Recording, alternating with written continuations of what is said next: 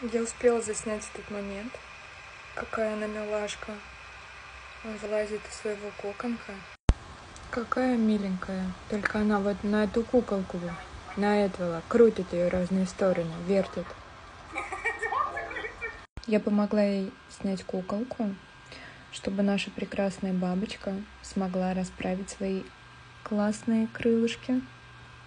Она не смогла до конца высушить свои крылышки. Я не знаю, в чем проблема. Сегодня утром родилась вторая бабочка, но у нее тоже проблемы с крылышками. Я проснулась, и она сидела на дне банки, хотя им надо помогать сразу же, как они вылупляются, им надо помогать убирать кокон.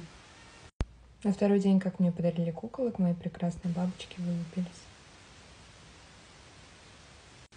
Ну только посмотрите, какая она миленькая.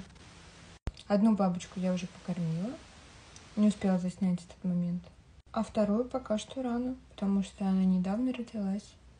А кто в течение пяти минут, как выходит этот ролик, пишет в комментариях слово апельсин, этого подпишусь, пролайкаю и оставлю свои комментарии.